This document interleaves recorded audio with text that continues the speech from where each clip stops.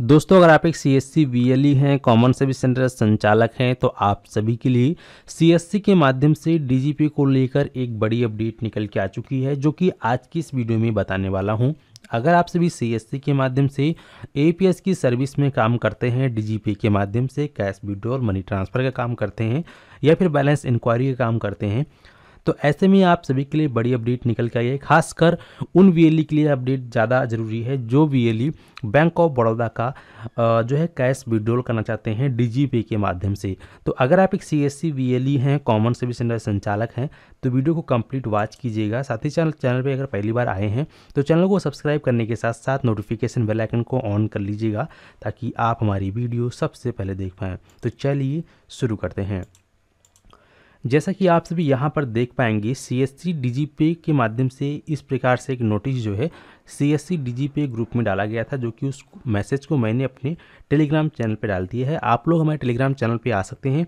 Telegram channel का link आपको video की डिस्क्रिप्शन बॉक्स में मिल जाएगा। वहाँ पर क्लिक करके आप लोग इसको ज्वाइन कर लीजिएगा, जहाँ पर आपको लेटेस्ट अपडेट मिलता रहता है। यहाँ पर बताया गया है डी जी पे एंड डी जी पे लाइट कुछ महत्वपूर्ण बिंदु। बी ओ बी यानी कि बैंक ऑफ़ बड़ौदा से समस्या की है कि जिस कर लेन देन नहीं होता है, वो अदर एपीएस में कुछ लोगों का होता है। बीओबी से केवल बीओबी कस्टमर का लेन देन होता है। आईआरआईएस से अदर एपीएस से कभी कभी कार्य करता है। बीओआई से केवल एक ही लेन देन होगा महीने में एक टर्मिनल से।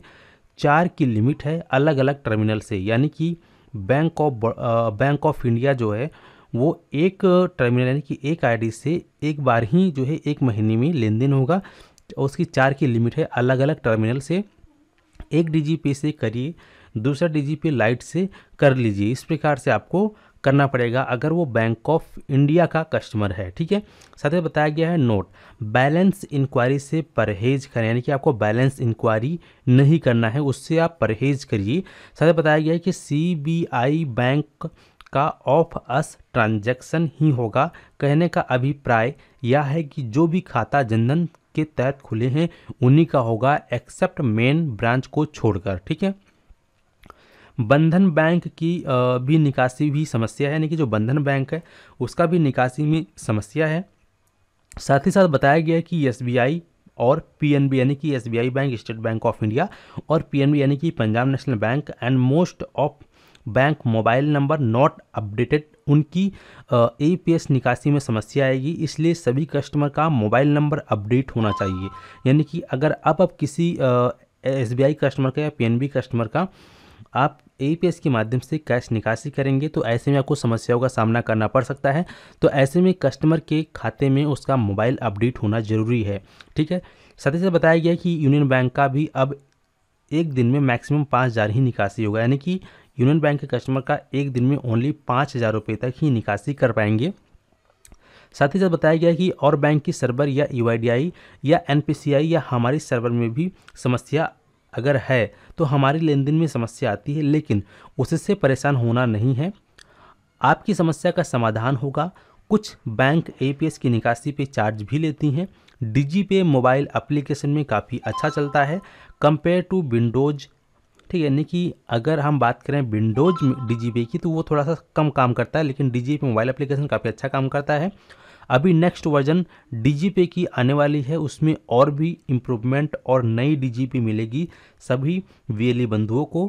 बताया गया है नोट दोनों एप्लीकेशन से सी एस सी निकासी करें प्रतिदिन और अधिक से अधिक कमीशन प्राप्त करें। साथ ही अभी दस परसेंट का एक्स्ट्रा कमीशन भी प्राप्त करें, ठीक है?